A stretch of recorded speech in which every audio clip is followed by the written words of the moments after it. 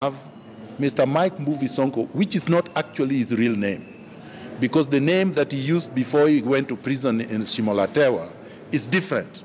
It's called Juma.